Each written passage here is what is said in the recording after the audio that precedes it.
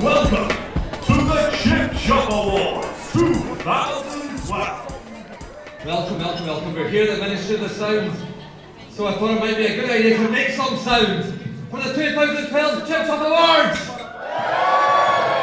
First and foremost, it's about the idea. We're not interested in whether or not a creative has a, the, the account.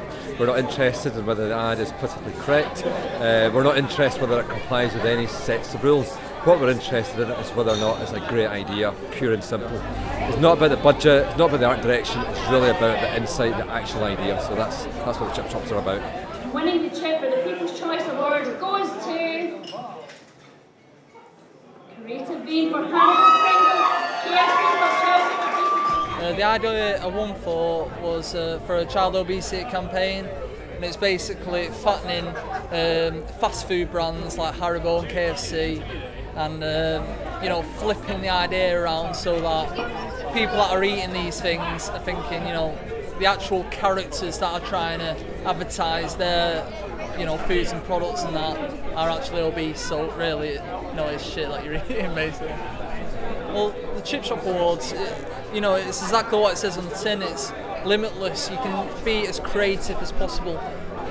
A lot of the times you've got briefs and you, you're restrained by like the cost and uh, who it is that you're trying to pitch to, whatever. But literally, you can just do anything that you want. Uh, you don't have to worry about brands fighting back at you saying, "Oh, you know, you, we can't show this" or whatever.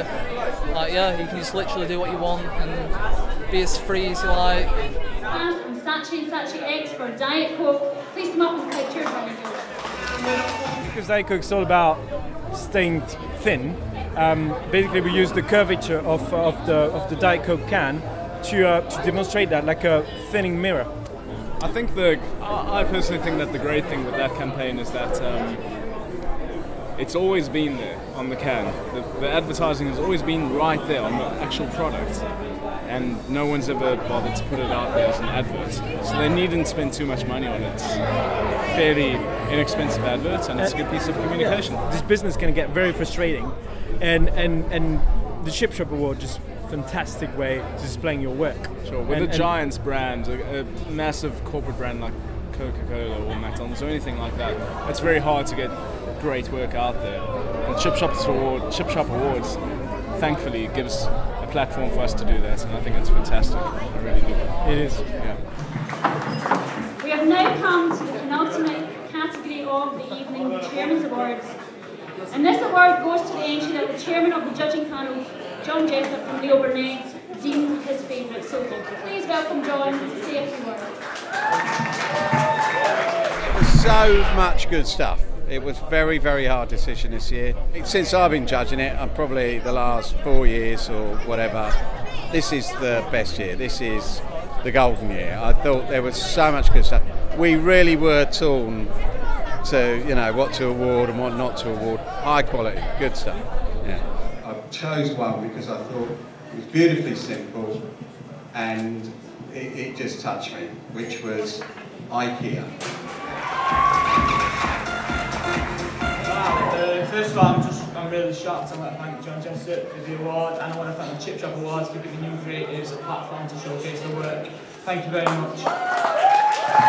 The inspiration came from I was at, on a holiday in the Lake District and we went into a little gift shop and there was a top hat and inside there was a plastic carrot and a plastic couple of pieces of coal and I thought that would work great for a direct mail for I- IKEA to send out a free snowman, some assembly required.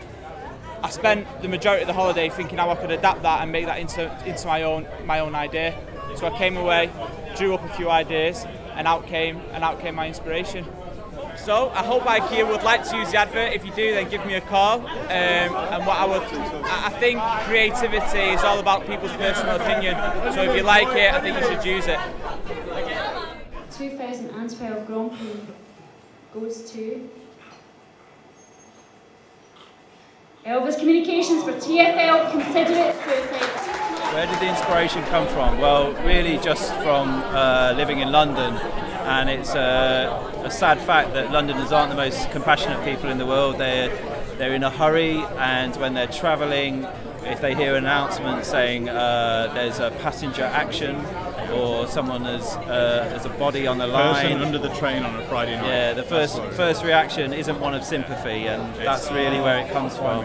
O N G, as I think the young person say today. Thank you so much. Um, we thought we'd hit on a, a human truth, and um, I think that's what's at the heart of good ads. So, uh, anyway, thank you very much. The bar's open. Thank you.